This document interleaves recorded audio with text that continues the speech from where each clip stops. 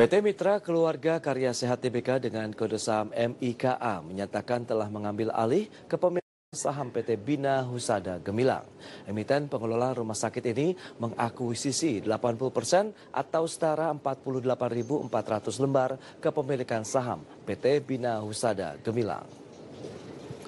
Manajemen PT Mitra Keluarga Karya Sehat Tbk seperti dikutip okezon.com dalam siaran persnya menyatakan akuisisi ini dilakukan melalui pengeluaran saham baru di PT Bina Usada Gemilang sebanyak 48.400 saham dengan nilai nominal transaksi 240 miliar rupiah.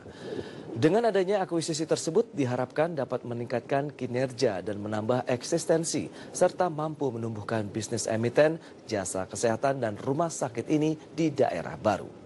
Adapun pada tahun ini mitra keluarga berfokus pada pembangunan rumah sakit baru dan akuisisi.